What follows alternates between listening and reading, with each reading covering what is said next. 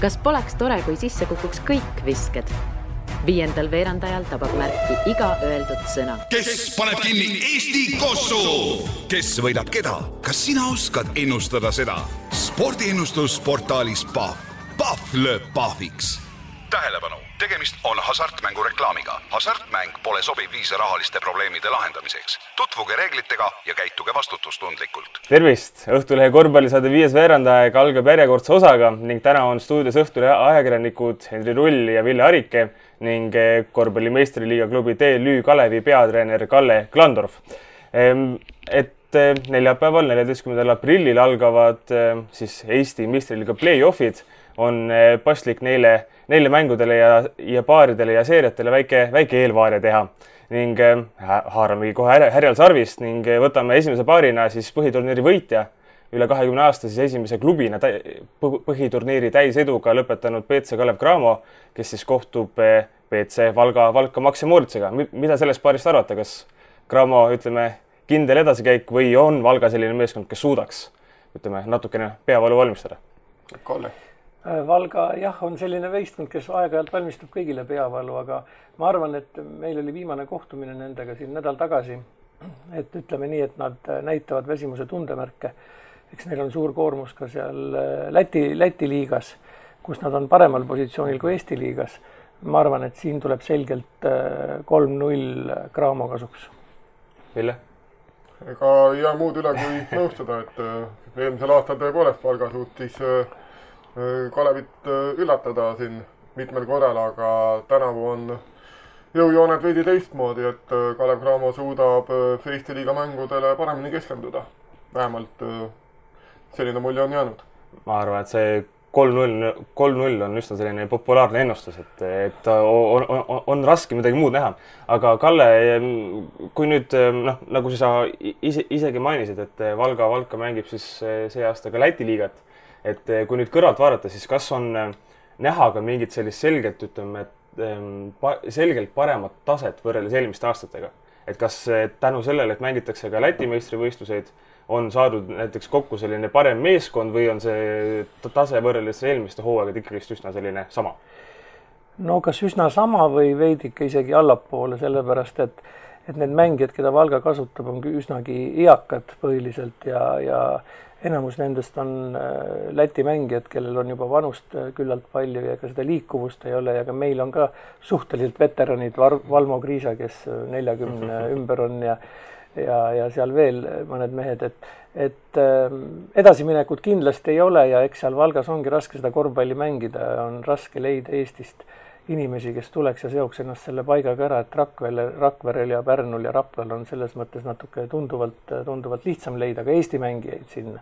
nii et see, see on selle miinus ja, ja ma ei oska öelda, kas see andis midagi, kellele see midagi andis, võib-olla Valga linnale ja Valka linnale andis, et nendel on üks meeskond Läti liigas ja Eesti liigas, aga aga üldiselt ma ei usu, et see oleks mingisugune edasiviiv variant Eesti korvpallile mm. -hmm aga ütleme, kui hooaja alguses, kui see teade tuli, et eh, Valga siis mõlemat, mõlema riigi meistrisarja mängib, et eh, millised mõtted, mõtted, tunded sind valdasid? noh, ega eriti midagi ei vallanud, eks me, meid huvitab ikka see, mis Eesti liigas toimub, et see Läti liiga variant jätab üsna külmaks, aga noh, selles mõttes on nad tublid, et nad seal nii kõrgel on, see näitab seda, et meie liiga on samasuguse tasemega, et me pole lätlastest eriti maha jäänud või, või nõksa isegi kõrgem. Eh, kõrgema tasemega, nii et kusagil samal tasemel oleme lätlastega, küll nüüd koondisi vaadates siis natuke on jälle teistsugune pilt, aga tundub, et üldine tase on sama ja, ja tegelikult selliseid eakaid mängumehi, nagu seal Valga, Valkas on või selliseid, ma isegi ei oska öelda, kas eakad, võib-olla veidi vormist väljas mängijaid mm, -hmm. nagu meil nii palju ei ole mm. -hmm aga lähme edasi ning järgmine paar, põhiturniiri teine koht, Tartu Ülikool Rock, kes jõudis siin ka Balti liiga finaali, aga seal kahjuks kordusmängu, ütleme, noh, ei saa öelda fopaa, aga, aga ütleme, päris paha mänguga selle tiitli maha mängis ning TTÜ, kes siis on tegelikult ju põhitur-, põhiturniiril Rocki, Rocki ju korra alistanud juba. TTÜ on nüüd küll edasi arenenud võrreldes sügisega ja, ja minu meelest on see täitsa vahva, vahva võistkond seal kokku saadud. mis puudutab nüüd Rocki, siis äh, ütleks niimoodi, et ähm, ROK-il on olnud mõõnasid ka sellel hooajal ja, ja, ja selliseid mänge, kus nad ei ole nagu oma ülesandeid täitnud ja ja peatreener Gerd Kullamäe on üsna pahaseid sõnavõtte teinud vahest meeskonna, meeskonna arvel. et see ongi see võimalus, ütleme, TTÜ-l, et, ähm, et kui ROK-il on selline halb tuju ja eks sealgi on vanemad mäng, mängumehed äh, Janar Talts näiteks ja kui nendel mõni mäng ebaõnnestub, siis võib juhtuda niimoodi, et äh, miks mitte, TTÜ võib üllatada, kuigi lõpptulemuseks ma täna siiski pakuks kolm-null seisu. seeriat on raske võita nii või naa TTÜ-l?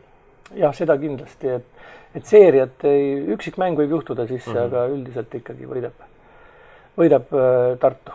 Eks ROK-i puhul tuleb mainida ka seda, ütleme, vigastuste kuratit, et äh, siin äh, enne, enne Balti liiga ava, enne Balti liiga finaali avamängu eel ju Gerd Kullamäe ütles, et et noh, on mehi, kes on tervisehädadega ikkagist mures ja, ja ja noh, näiteks Janar Talts olevat pea terve hooaja ühe jala peal mänginud ja Reinar Allikul olevat mingi seljaprobleeme, Harper on nii või naa, eks ju, traumaga väljas, et ütleme, seal noh, võrreldes selle Cramo, Valga, Valka Äh, paariga, siis seal võib-olla näeks natukene seda outsideri võitu rohkem, noh, ehkki mitte väga palju. Ville, või mis sa arvad? noh, täpselt nii, et äh, võib-olla TTÜ siin ühe mängu saab kätte, aga aga kokkuvõttes siiski ega tundub, et TTÜ pink ka liiga pikk ei ole, sellepärast et ikkagi põhitegijad on mängust mängu ühed ja samad ja ja rokk on äh, nii kvaliteeti rohkem kui ka tundub, et on ühtlasem, nii et et selles mõttes Gerd Kullamäel seal on, kellega on neid nuppe, kellega mängida. pluss, kui üritada natuke nalja teha, siis ütleme, üliõpilastel on praegune aeg ikka selline, kui hakkavad eksamid ka vaikselt peale tulema, nii et ei ole ainult korvpall, mis meeste, meeste mõttes on. ja Tartul on ka üliõpilasmeeskond loomulikult. noh, just, just. ja lähme järgmise üliõpilasmeeskonna juurde. TLÜ Kalev, Kalle meeskond kohtub siis eh, Pärnu Sadamaga, et eh, Ville, kõigepealt sinu käest, et eh, kes on selles paaris favoriit, sest et noh, ütleme põhiturniiri tabelit vaadata, siis ütleme kohad kolmandast kuuendani on selline noh, võrdsete heitlus ikka. no kolmandast kaheksandani lausa oli tegelikult selline päris võrdsete meeskondade heitlus ja, ja see on terve hooaja olnud ja selles mõttes äh, huvilisele kindlasti väga meeldib, ehkki tundub, et siin treeneritele võivad niisugused tasavägised mängud kindlasti rohkem halle karvu tekitada, aga aga äh, TLÜ jäi põhiturniirile Pärnu vastu kolm-üks peale nii et äh, Kalle, kas äh, üritate nüüd sama teha? no tegelikult me oleme mänginud nendega kuus korda sellel hooajal, kaks Balti liiga mängu ka veel oli, nii et tegelikult on see vahekord viis-üks.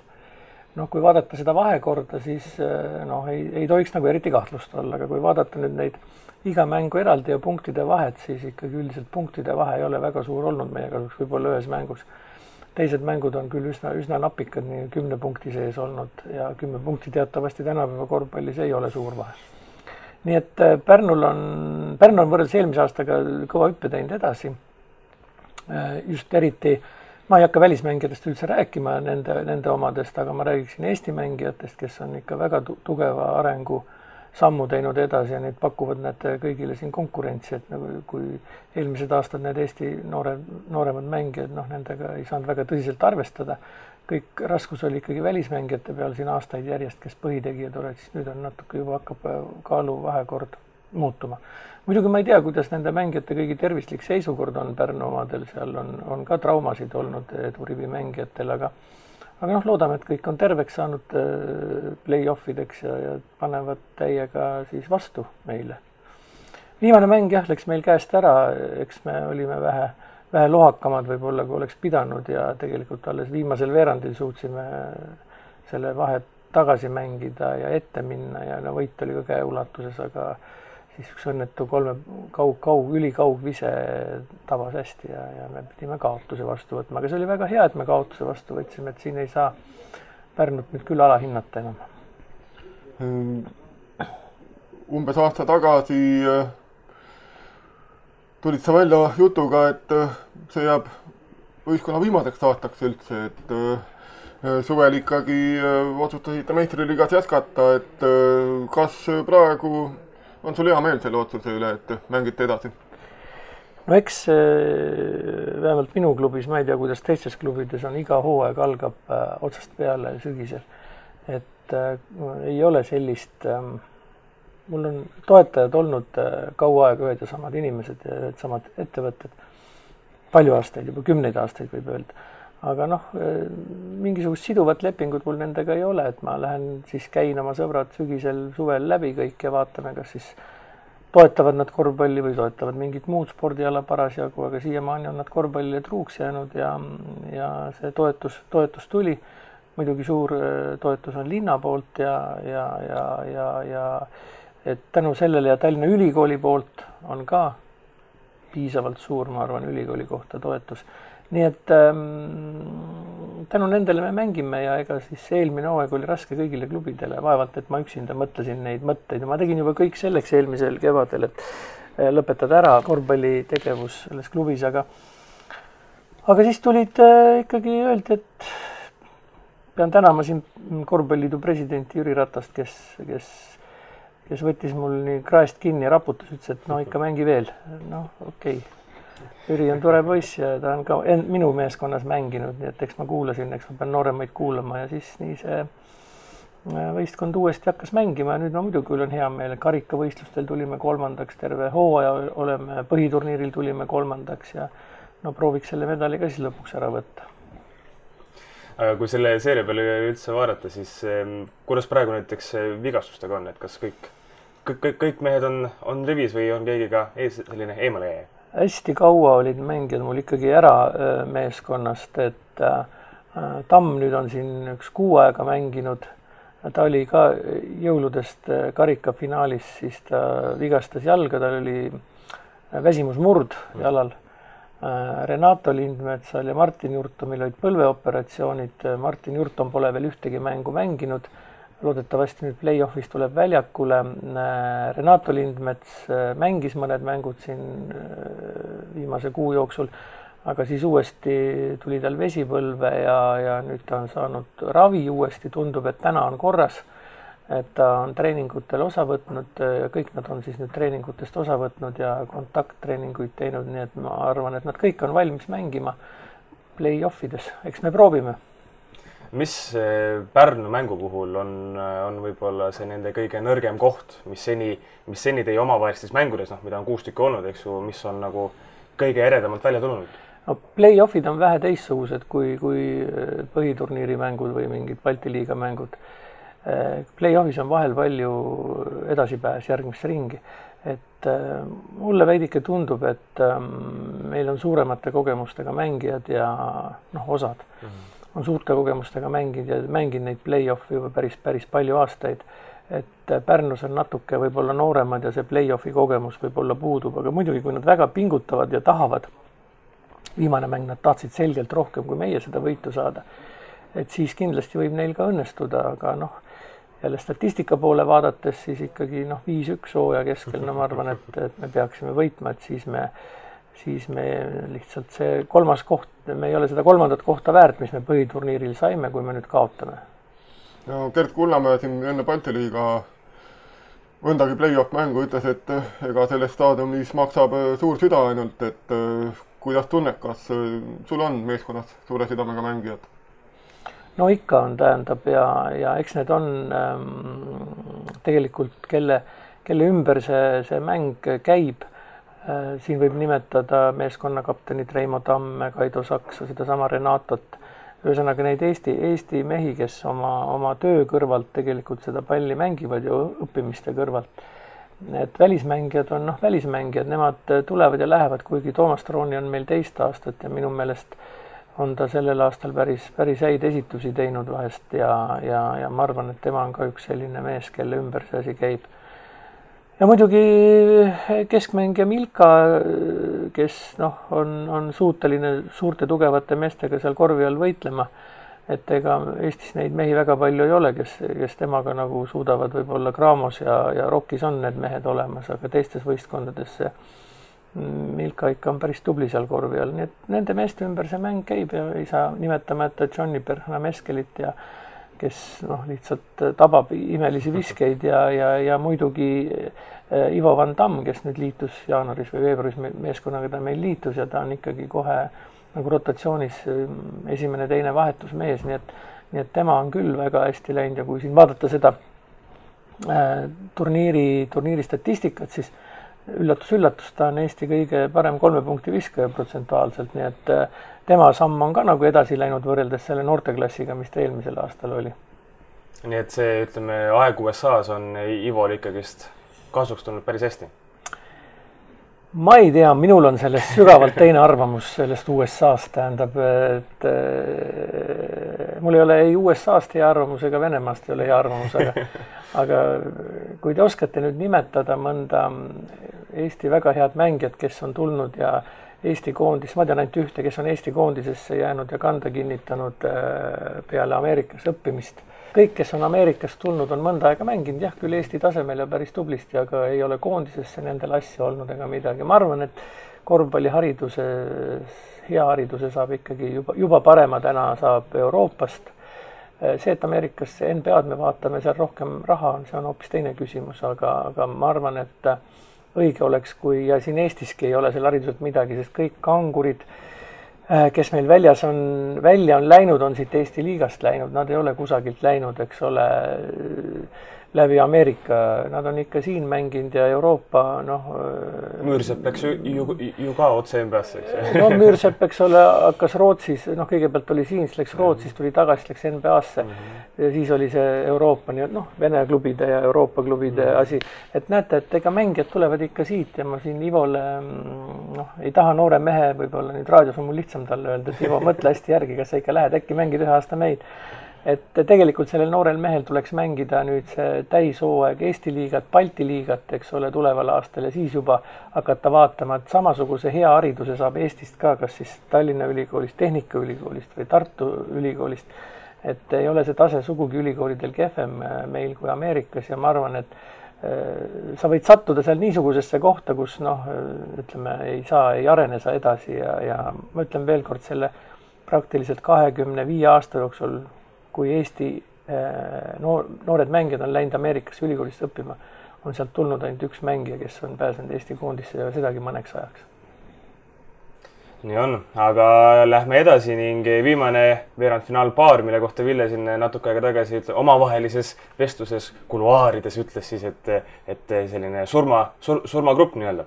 no siis, seda ütles just Kalle siin enne ja. meie lindistuse algust, nimetas. minu viga kus siis kohtuvad eh, Rapla Avis ning Rakvere Tarvas põhiturniiri vastavalt siis neljas ja viies meeskond. tõesti, ütleme, kui vaadata tabeliseisu ja ka ütleme meeskondade noh, nimesid, siis tõesti väga selline võrdne heitlus. Ville, mis sa paarist arvad? no siin eh, saab järjekordselt näha ühte Aivar Kuusmaa ja Andres Sõbra vastasseisu, mis siin Duelli. suure, suure pauguga läks lahti aastal kaks tuhat kümme, kui üks ühendas Kalev Cramot ja teine endiselt Rakvere Tarvast. aga, aga praegu on äh, ilmselgelt tegemist, tundub, et kõige ettearvamatuma paariga, ehkki ka TLÜ ja Pärnu paar kindlasti, ma loodan, et toob piisavalt palju põnevust. ma usun, Kalle on kindlasti teistsugusel arvamusel, et et üritaks need kolm mängu kahekümnega ära võtta, eks ole, aga, aga vähemalt ma arvan, et fännid kindlasti loodavad sealt paarist samuti põnevust ja äh, veelgi enam muidugi Rapla Rakvere, et äh, kus tõesti äh, tundub, et siin Rakvere on põhiturniiri lõpus äh, saanud ennast hästi jooksma, samas on Rapla koduväljaku eelis, mis ka kindlasti play-off'is on oluline, nii et, et need kaks asja tunduvad tasandavat teineteist. Jah, et siin kohe ei oskagi öelda midagi algatuseks, et tõesti nagu siin rääkisime, on see surma, surmameeskonnad omavahel ja mitte ainult nii-öelda korvpalliväljakul, ma arvan, et seal tuleb päris äh, vahva sõnasõda ka ajakirjanduses, et te saate ka tööd piisavalt, kui te neid peatreenereid kuulete, üks on vägevam kui teine, aga aga, aga siin tõesti on väga raske eelistusi anda, kuigi täna kui ma siiamaani nagu eelistasin võib-olla Raplat, siis täna mul natuke, kui vaadata neid mänge, mis on nüüd pärast toimunud, eelistaksin võib-olla vähemalt esimestes mängudes võib-olla Rakvere Tarvast, kuigi kodumäng on esimene vist Raplas. no Rakvere eh, on ka küllalt kogenud mängijad, neid väga palju seal ei ole küll, eks ole, seitse-kaheksa mängumeest on aga nad on, nad on saanud ennast äh, käima, kui hooaja alguses läks neil kehvemini, siis noh, me teame ka, mispärast on täna muutused. Paremad, siin on üks teatud, teatud mees tagasi tulnud, kes, kes oli kunagi minu võistkonnas, siis läks Rakverre, siis oli Graamo, nüüd on tagasi Rakveres. et ähm,, et nad on jah, niisugused kogenud mängijad ja, ja ega nad millegile risti ette ei löö, pluss mõlemil meeskonnal on suurepärane publik, kodupublik ja nii peabki olema, ma arvan, et Rapla saal ei mahutagi inimesi enam, kui nad sinna play-off'i hakkavad mängima nüüd Rakverega ja ja sama ka Rakverel, Rakverel lihtsalt on umbes kaks-kolm korda suurem saal. duell tuleb tõsine ja, ja ikkagi praegu väga raske on kellelegi eelistust anda, mulle tundub, et kübekene, kübekene on, on ehk Tarvas. Teatud, teatud mängijate piires on natukene parem, mulle tundub nii aga mis võiksid Rapla plussid olla, mida nemad peale saaksid suruda? noh, Raplal, Raplal oli, oli, oli selgelt näiteks hooaja alguses oli eelmine aasta ka lõpus, Puupalu kui tuli, oli selgelt parem korvialune mäng ja, ja ta tegi ikkagi palju peavalu Eesti klubidele aga täna, täna noh, mm, seda ei ole, et need mängijad tulid küll Itaalia kõrgliigast või kust nad tulid, Kreeka kõrgliigast jah, aga, aga ikkagi see tase ei ole see, et nad saaksid siin ilma teha ja esimesed mängud, kui neil läksidki hästi, siis täna on nende punktisaak ja kõik muud asjad juba nagu tasandanud Eesti mängija tasemele. et ähm, jah, aga Raplal see hirmus, hirmus äh, tahe võib-olla on suurem ja, ja eks nad on niisugused tublid poisid, kes on, kes on tööd, tööd teevad ja võib-olla veel noh, mõni nendest Eesti mängijatest mõtleb, et saab Euroopasse kuskile kaugele mängima, mida ma eriti ei usu, aga aga, aga, aga, aga, aga noh, nad on tublid ja tahavad, see on küsimus, ongi tahtmises. võib-olla oskused on Rakverel suuremad, aga võib-olla tahtmine jälle on teistpidi natuke Raplal suurem kas Rapla üks eelis võiks olla ka see, et nende pink on, on vähe pikem, et, et, et erinevalt Arvasest, kes noh, mängib tõesti seitsme-kaheksa mehega, nagu ütlesid? jah, aga eks play-off'id ongi, kus mängitakse seitsme-kaheksa mehega, ega siin ei saa enam katsetada, katsetada ei ole midagi, hooaja jooksul on katsetatud kõiki mängijaid ja treeneril peab olema selge pilt kaheksast mehest, kes on võimelised nagu seda, seda mängu mängima. Ja siis aeg-ajalt saab torgata kellegi sisse. Üllatuseks, võib-olla veab, ütleme niimoodi mustaks hobuseks, aga üldiselt on ikkagi ega siis nendel kõigil klubidel ei ole see pink nii pikk, et, et kõik kaksteist meest on võrdsed, et ikkagi on, on nii Rokil kui ka Cramol on selgelt äh, nõrgemad mängijad, kui, keda aeg-ajalt lubatakse väljakule ja, ja samamoodi on ka meil ja samamoodi on Rakverel ja Raplas ja lihtsalt jah, võib-olla tõesti natukene on Rapla pink, pink vähe kobedam.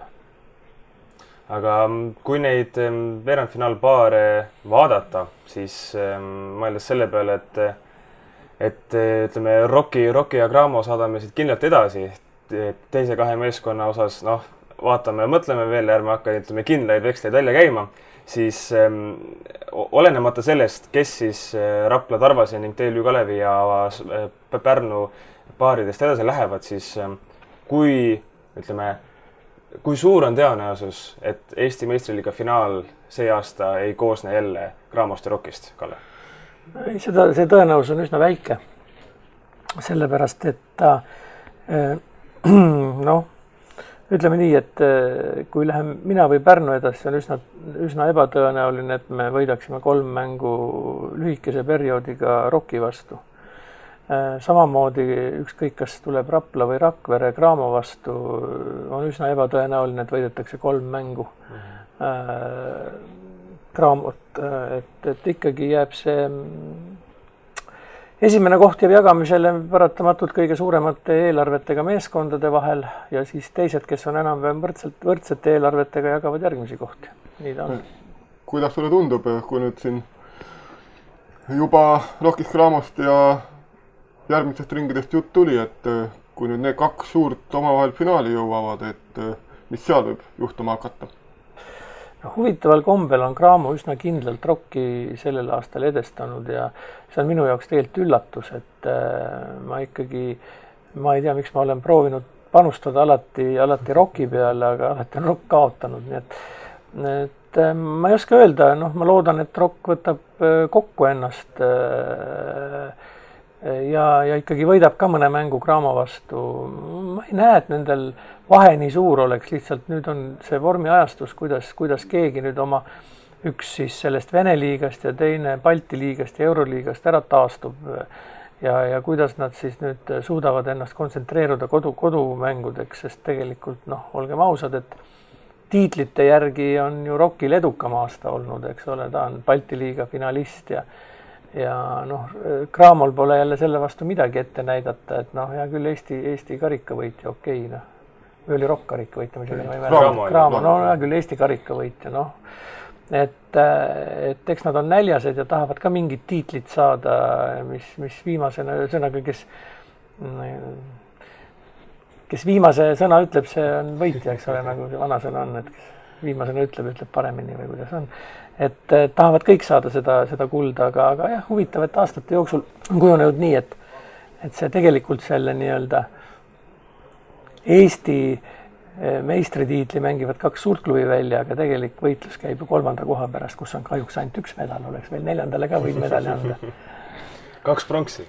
No nagu on ja individuaalaladel maadluses, boksis, eh, eks ole, enam seal ei selgitata välja, kes, kes on tugevam, et nendele antakse kõigile pronksid.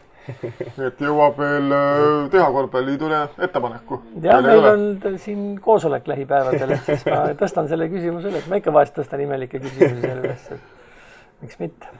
Aga väikse remargi korras, et kui Kalle ütlesid, et, et see Cramo ja, ja Rocki vahe ei ole nii suur, et siis ma jagan sedasama arvamust, et ehkki Raamo on ju võitnud, kas oli viis kohtumist, kõik, mis siis sel hooajal Rockiga peetud on, siis äh, nagu Rain Veidemann pärast seda viimast võitu ütles, et tegelikult need mängud on olnud üsna sellised ähm, noh, tasavägised ja läinud viimaste minutite peale, et jah, karikafinaal oli üks, mis noh, lõpuks läks päris suureks ja see viimane omavaheline mäng ka, aga ülejäänud on tõesti olnud selline, et viimasel paaril minutil noh, pannakse võitja paika jah, et seda tahaks küll nüüd, et äh, Rock ka mõne võidaks, aga seda ma küll ei tahaks, et Pärnu mõne võidaks. Need on ka üsna tasavägised mängud olnud.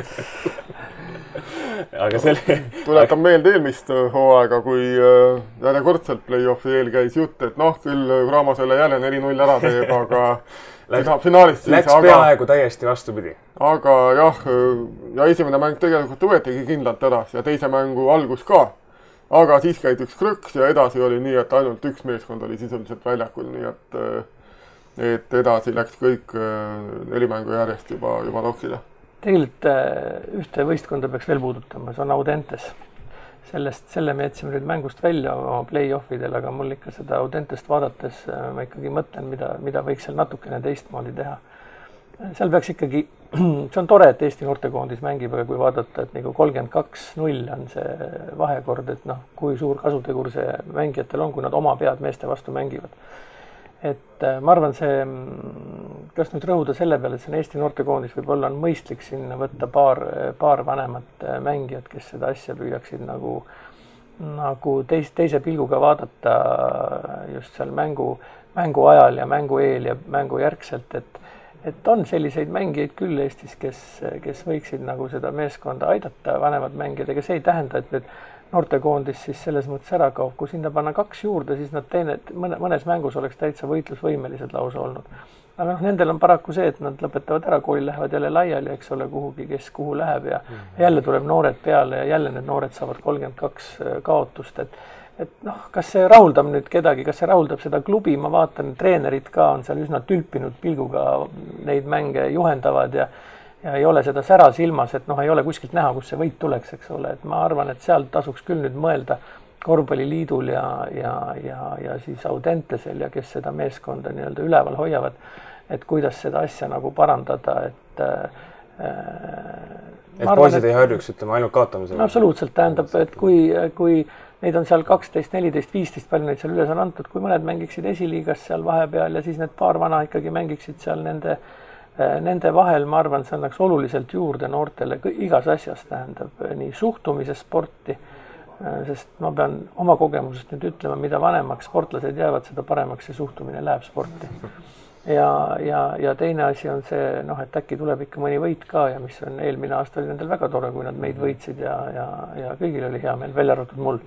aga, aga, aga tegelikult peaks see, peaks see natuke teistmoodi olema, muidu me harjume selle meeskonnaga, et no mis meeskond see on, siis seda nagu polegi, eks ole. jah, see aasta nad tegid õigesti, nad mängisid kõik, kõik mängud, aga see tõi ka välja selle, et enam juhuslikkust ei olnud ja kõik võtsid neid natukene tõsisemalt kui eelmisel aastal ja, ja see tulemus oli kolmkümmend kaks null ja üsna suurte vahedega ei olnud, nii et mõni punkt punkti mäng ka oleks olnud.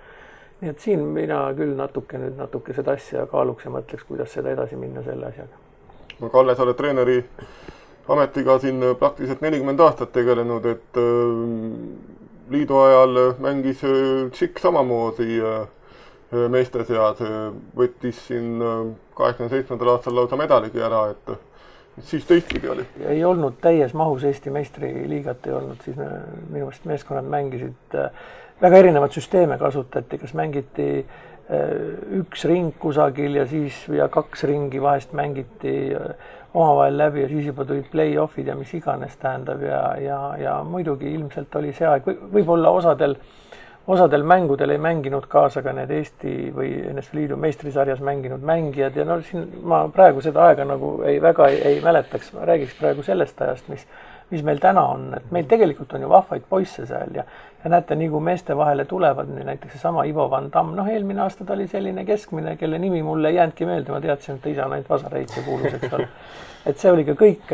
täna tähendab, kui ikkagi mees, mees on selline juba meeste vahel on, on tegija suhteliselt, kui ta on isegi, see on ikka väga suur asi, kui ta lööb letti, et ta on Eesti liigas, liigas on ta parim kolme punkti viskaja protsentuaalselt, see, see juba statistika järgi hakatakse vaatama, agendid ja kõik hakkavad teda vaatama, tähendab, vot see, see tähendabki seda, et, et inimesel on näha, et selgelt areng on olnud ja areng on olnud äh, siin Eestis, no Ameerikas, kui ta oli seal Ameerikas noh, sa ütlesid, et äkki see Ameerikast ei ole see Ameerikas, seal ei olnud, keegi ei teadnud teda, mis ta seal Ameerikas tegi ja kas ta üldse midagi tegi. Et ma olen kindel, et ta tegi, ma lihtsalt ütlen, et noh, üldsus ju ei teadnud, eks ole, ja tegelikult tunda said inimesed teda alles nüüd sellel hooajal siin, eks ole. et kas on vaja neid mängijaid seal omavahel nii väga seal Äh, sulatada kokku ja, ja mingis, proovida Euroopa meistrivõistlusi mängida, see on ka oluline noorte vahel mängida Euroopa meistrivõistlusi, aga aga noh, ma arvan, et korvpalli viib edasi ikka see, kui me leiame need isiksused üles ja proovime neid, kes on valmis loomulikult, võimalikult vara meeste vahele panna mängima. ma arvan, et Ivo Van Tamm oli ka eelmine aasta valmis juba meeste vahel mängima, mitte ainult oma noortevõistkonnast. täna see pilt seda näitab selgelt. kes on Audenteses võib-olla see mängija, kes oleks valmis meeste vahel mängima? no ma ei taha öelda, siis hakkavad teised klubid neid otsima, eks me juba oleme silma mõnele peale heitnud, aga noh, seal on see paha, paha värk, et, et neid ei lasta, nad peavad seal koolis lõpuni mängima, aga mhm. tegelikult nendel enam võistlusi ei ole. Ja siis peavadki oma poisikeste vahel mängima. eelmine aasta oli meil mängija, kes läks aastaks kaduma, oli Joosep Indermitte, keda me, kes enam noortekoondises mängida ei saanud. Sellepärast vanusega oli ta väljas, keskkool viimane klass oli, Audentesest ma teda kätte ei saanud, tahtsin juba teda eelmisel aastal meeste vahele võtta, tegelikult sisuliselt üks, üks hooaeg läks kaduma, ei mänginud ta seal ja ei mänginud kusagil, eks ole, täna ta veel põeb seda üleminekut. Mm.. nii et äh, noh, jah, igasse asja tuleks mõistlikult suhtuda ja, ja kui on näha sellised mängijad, kes enam noortekoondisse ei pääse, aga vanade, mingi vanade meeskond tahaks teda saada no siis võiks nagu vastu tulla sellele klubile, seda enam, et need on meie püramiidi mängijad, nii Ivo Van Damm kui seesama Indermitte, et noh, selleks püramiid ju tehtud on, et nad saaksid oma klubidesse tagasi tulla, mitte et neid jõuga kinni hoida millegipärast. jah, kas sul on nüüd peale selle, et siin tõid juba välja, kaks vist vanemat võist-, meest võiksid seal noortekoondises nii-öelda poiste vahel toeks olla nendele, et on sul nüüd veel mõni ettepanek näiteks selle Audentese süsteemi osas? no ma ei oska öelda, ma arvan, et see Audentes võiks nagu siiski pilgu pöörata väljapoole Eesti, Tallinna tähendab, et väga paljud äh, mängijad on ju tegelikult tulnud äh, maalt ja, ja tulevad ilmselt ka edasi. suured tugevad maapoisid tulevad ikka maalt. Täna on meil ähm, meie püramiidi tulnud üks, üks Tartu poiss, kes on kehaliselt noh, meestest juba tugevam, siin vahest harrastan aga mõnda raskejõustikuala boksi ja maadlust, siis ta siis ta ikka teeb mõnelgi täismehel selja prügiseks, et niisugune tugev poiss, kahemeetrine, natuke võib-olla noh, ikka seitsmeteistaastasel ei, ei, ei tule järgi nii palju kiiresti need asjad, kui me tahaksime, aga ikkagi tähendab, et selliseid mängijaid on, on maalt tulemas ja, ja väljastpoolt Tallinnat ja Tallinnas on pealegi kolm kõrgliiga klubi, et me võiksime ikkagi kuidagi leida kokkuleppe, kuidas me neid mängijaid jagame ja siis võib-olla ei olekski vaja sellel noortekoondisel eraldi mängida Eesti meistriliigas, piisaks, kui nad mängiksid esiliigas, need, kes meeste, kolme Eesti meesteklubisse ei pääse. oleks hoopis, ma arvan, palju kasulikum ja me tuleksime, ega siis ju kõik Tammisted, Krikunid, Tomson, need tulid ju varakult meeste vahele, eks ole, seesama Pehka, tulid varakult meeste vahele mängima. meestega koos, mitte meeste vastu, vaid meestega koos ja see kindlasti on, on arengule ainult positiivne. see on see nii-öelda arengu võti?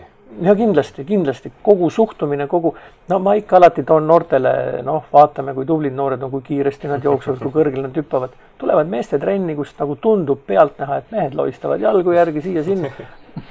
Poole tunniga on noor küps, esimesed treeningud, ta ei suuda järgida seda, seda, seda asja, seda tempot, seda hoopis teistmoodi liikumist et äh, ta rapsib ennast üle ja surebki ära sinna meeste vahele ja see ongi see, mida on ka vaja õppida, pluss veel mängukogemus ja see, kui omavahel ikkagi kogu aeg üks mees söödab sulle out'i palli, eks ole, kui tsenter palli pidevalt ei saa, sellepärast et talle ei söödeta lihtsalt kätte, see on ju füsioloogiliselt selge, et äh, noor noh, ei ole võimeline nii täpselt söötma, koordinatsiooniprobleemid, mis iganes. Et noh, noh siis tekivadki need kolmkümmend kaks null kaotused aga väga hea, aitäh, Kalle, aitäh Eesti liiga juttude eest ning lähme edasi juba Euroliigaga. kes paneb kinni Eesti Kossu, kes võidab keda, kas sina oskad ennustada seda? spordiennustus portaalis Pahv, Pahv lööb pahviks. Tähelepanu, tegemist on hasartmängu reklaamiga. hasartmäng pole sobiv viis rahaliste probleemide lahendamiseks. tutvuge reeglitega ja käituge vastutustundlikult. Eesti liiga jutud räägitud, viies veerandaeg kappab rõõmsalt edasi panustamisrubriigi poole, mida toetab pahv.com ja panustamissoovitusi on, kui üldjuhul on neid kaks, siis täna on neid, kui üldjuhul on kolm, vabandust, siis täna on neid kaks ning mõlemad eh, on kolmapäevasel päeval. Kui esmalt kell kakskümmend kohtuvad Euroliiga, siis veerandfinaali avamängus Krasnodari Lokomotiv Kuban ning FC Barcelona ja, ja Krasnodari meeskonna handicap'iga võit miinus kaks koma viis on koefitsiendiga üks koma üheksa natuke põhjendan ka. Eh, Lokomotiiv võitis siis vahe, Euroliiga vahegrupis eh, seitsmest mängust, eh, seitsmest kodumängust kuus. Samas Barcelona võitis võõrsil vaid kaks, nii et tundub, et Kuban on ikkagist väga hea kodumeeskond, Barcelona mitte nii hea võõrsil meeskond ja noh, oleme ausad, tegelikult ehm, noh, meeskonnad tunduvad üsna võrdsed, võib-olla isegi Kuban on nõksa parem. no see on täpselt selline maitse küsimus, sellepärast et et äh, Barcelona tuli läbi sellest äh, surmagrupist, äh, kus tõepoolest asi läks siin viimase vooru peale, asi läks no nii nugade peale, et veel enne viimast vooru sai siis võimalus, et viis meeskonda lõpetab näiteks võrdse arvu võitudega kohtadel kolm kuni seitse ja, ja lõpuks siiski päris nii ei olnud. Barcelona võitis Kaunasest sealses allkirjas, sai kolmanda koha kogu selle superklubide armada ees, et jättes siis selja taha Madridi Reali, Piraeus olümpiaakose Himki ja samuti suurepärast mängu näidanud Bambergi. nii et, et Barcelonale tunnustus selle eest, et nad noh, CSKA ja Victoria jäid küll ette, aga, aga et ülejäänutest eh, suutsid seal ettepoole jõuda, mis ei olnud teps mitte lihtne ülesanne, nii et et noh, see paar tundub üldse play-off'i üks tasavägisemaid, nii et tõesti väga raske on äh, eelistust anda, et, et. Ähm, aga kui peaksid, kui, kui, peaks, kui, siis, kui keegi äh, paneb sulle relvavõimu kohale ja ütleb, et Ville, ennusta. jah, äh, no ütleme nii, et koduväljak annab, annabki sellisest tasavägidest paaris eelise just, nii et et selles plaanis tõesti Krasnodar, aga kas see miinus kaks koma viis ka nüüd tingimata tuleb, et selles osas ma nii kindel ei ole enam. võib-olla läheb viimase viske peale ja tehakse see kahe punkti viisa, mitte kolmene jah, aga samas äkki Anthony Randolph viskab viimase sekundi kolmeseni. loodame parimat, loodame parimat.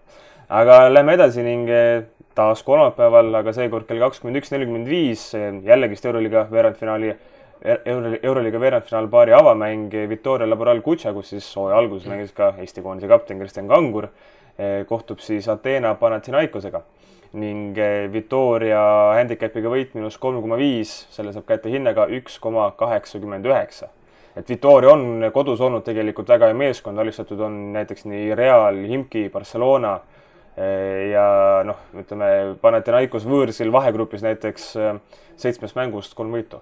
no siin, siin ma küll nüüd aru ei saa ausalt öeldes väga, et miks on nüüd siin Lokomotiiv Barcelona ja Victoria Panathinaikos sisuliselt kodumeeskonnad sama sama koefitsiendiga, et noh, ühel kaks, miinus kaks koma viis, teisel miinus kolm koma viis, et äh, siin Victoria puhul küll tundub, et ei tohiks väga küsimust olla. sellepärast, et noh, nemad tulid sellest samast turmagrupist äh, hiilgavalt läbi, said äh, teise koha ja play-off'iks koduväljaku eelise ning Panathinaikos oli hoopis lahjemast seltskonnast kolmas, nii et, et äh, siin küll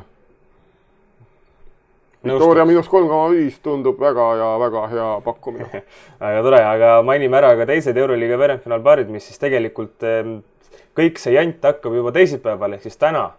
Ning eh, kui kell, esmalt kell kakskümmend play-off'ide avalöögis, siis Moskva CSKA kohtub Belgradi Crvena Zvezdaga. et see on ka vist ütleme üsna selline, kuigi Crvena Zvezda on kodus, on väga hea ja ütleme, selle Serbia marulise publiku toel nad võivad ikka võtta väga, väga häid võite, siis noh, CSKA on ikkagist liiga suur pähkel. no siin jah, kahtlust ei tohiks olla või vähemalt seeria kokkuvõttes, sellepärast et et CSKA on noh, Euroliiga ülekaalukalt parim rünnakumeeskond, võib-olla mõnele ootamatult, mõnele mitte, et tõesti ülekaalukalt selles mõttes, et see keskmine punkti arv äh, on vahegrupis oli siin äh, järgmisest meeskonnast kaheksa-üheksa punkti rohkem.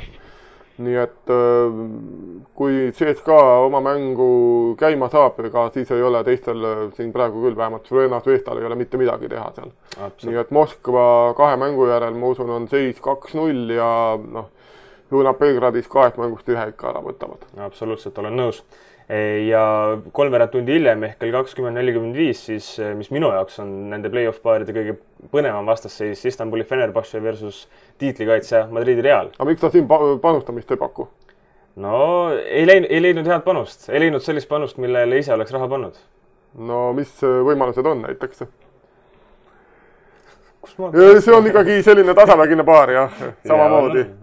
aga kuidas sulle endale tundub, et äh, Real on tiitlikait ja, ja selle surmagrupis samas alles neljanda koha meeskond Fenerbahce, keda siin terve hooaeg on samuti kiidetud, tuli nüüd sellest lahjemast grupist esikohaga välja, et äh, kuidas sulle endale tundub, kumb äh, ikkagi siit edasi võib minna? ma olen üsna, üsna kindlalt Fenerbahce usku et, et eh, eriti kui mõelda sellele, et terve Euroliiga hooaja vältel türklased on võitnud kahekümne neljast mängust üheksateist, Realil on see saldo siis kaksteist võitu, kaksteist kaotust, et et ma arvan, et see juba näitab midagi, et eh, aga samas, kui Fenerbahce sattunuks sinna surmagruppi? ma edasi oleks, edasi oleks nad ikka läinud. edasi kindlasti jah, aga mis kohalt just?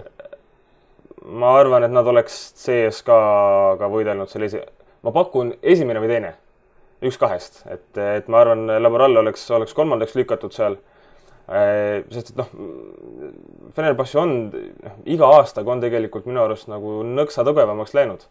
ja, ja noh, neil on ikkagist ka Euroopa, ütleme korvpalli ajaloo üks legendaarsemaid peatreenereid, kes on erinevate klubidega võitnud kaheksa euroliiga tiitlit. et, et kui selline mees pukis on, lisada sellele ka veel väga hea koosseis noh, kus on suure raha eest kokku ostetud noh, väga ja väga kvaliteetne sats ikkagist. et eh, siis on noh, raske näha, et, et nad ei oleks, ütleme, iga hooaja eel ja igal hooajal sellised Euroliiga favoriidid.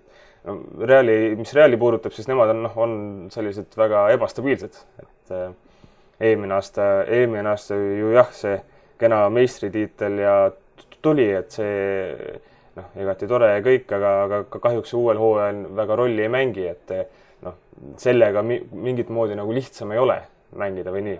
et, et, et selles mõttes ma arvan küll, et noh, kui võrrelda neid klubide hooaegu ja ja noh, tegelikult ka treeneripinki ja, ja meeskonna koosseisu, noh, koosseisud võib-olla on isegi üsna võrdsed äkki. no koosseis küll, Reali koosseis äh, endiselt avaldab muljet. absoluutselt, absoluutselt. et äh, siin ongi just seesama teema, et ka koosseisu mõttes minu meelest Real ei ole kehvem sats, et äh, nõus. et selles plaanis ma olen tõesti sinuga nõus, et siin on äär, ääretult raske ükskõik millist panust panna just, aga noh, ütleme seeria võit ikkagist kuulub türklastele, minu silmis vähemalt. sest samas jällegi Real näitas nüüd äh, see mäng, kus tõesti nende selg vastu seina oli Himkiga nüüd vahegrupi viimane, et et see võeti nimeka vastase vastu väga kindlalt ära. et äh, tegelikult see sats on selline, kes oskab ja suudab neid ülitähtsaid mänge mängida et selles plaanis ma nii julgelt ei räägiks Fenerbahce kasuks just. nii et äh, ootame seda, et äh, seeria on viiendaks mänguks kaks-kaks viigis ning Real siis võtab äh, Türgimaal selle mängu ära. ise sa ütlesid, et Fenerbahce võtab ära. ei no kui, aga kui sa räägid, et elu ja surma peale mäng on alati võitud, mina usun tõesti, et Fenerbahce võidab. no ei, ma ei väida seda sugugi, et Real tingimata ära võtab, et Fenerbahce'l on ka tõepoolest sel aastal sellist kvaliteeti, et on võimelised samamoodi neid kõiki, kõiki tähtsaid mänge võitma, nii et üks kahest sel juhul peab kaotama. jah, aga see on Real, kes kaotab. aga selle tõdemusega selle tõdemusega ka lõpetame tänaseks ning ärge unustage, et meie tegemistel saate silma peal hoida nii Facebooki, iTunesi kui ka SoundCloudi kaudu tippiga otsingusse viies veerandaeg ning leiate meid rõõmsalt üles ning eh, kõikidele NBA sõpradele tasub öelda, et ärge olge kurvad, et täna NBA-st ei räägitud meil tuleb siin varsti-varsti eh, paari päeva pärast väike erisaade, kus siis Unistuste liiga põhjalikult kokku võtame ja vaatame ka play-offide ette. aitäh ja head aega! kuula meid igal teisipäeval Õhtulehest, SoundCloudist või iTunesist ning ära unusta meie podcasti tellimast. kes paneb kinni Eesti Kossu? kes võidab keda? kas sina oskad ennustada seda? spordiennustus portaalis Pahv. Pahv lööb pahviks. Tähelepanu tegemist on hasartmängureklaamiga. hasartmäng pole sobiv viis rahaliste probleemide lahendamiseks. tutvuge reeglitega ja käituge vastutustundlikult